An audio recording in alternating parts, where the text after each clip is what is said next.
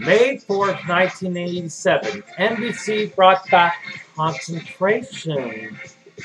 But it's not just concentration, it's classic concentration.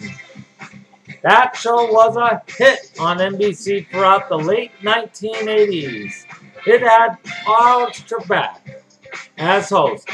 You know him as the famous game Jeopardy! And it's alive and well with him as host. And and on also on that show, it was the beloved Mark Goodson's beloved daughter, Marjorie Goodson, that came on the show later on. Diane Taylor was the first assistant for Alex Trebek.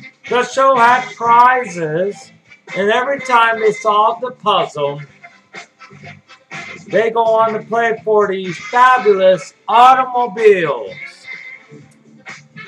For four seasons, the show gave away a lot of money. So now we bring you classic concentration. Coming up next on Game Show Fever Chat.